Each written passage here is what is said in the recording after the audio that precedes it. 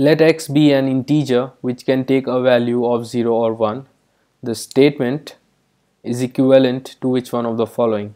So in this question a piece of code is given and we need to find its replacement with one of these options. So to solve this we will put x equals to 0 and 1 at these places and find the new value of x and whichever option matches that will be the answer. So let's solve for x equals to 0 so we get 1 1 minus 1 and exception for option D.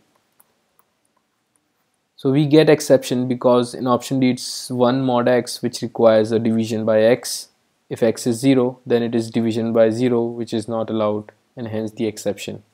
Now let's solve for x equals to 1 we get 2 0 0 0 so from the statement if x is 0 then the new value will be 1 and if it was 1 then the new value will be 0. Now this condition is satisfied by only option number B so the answer is option number B.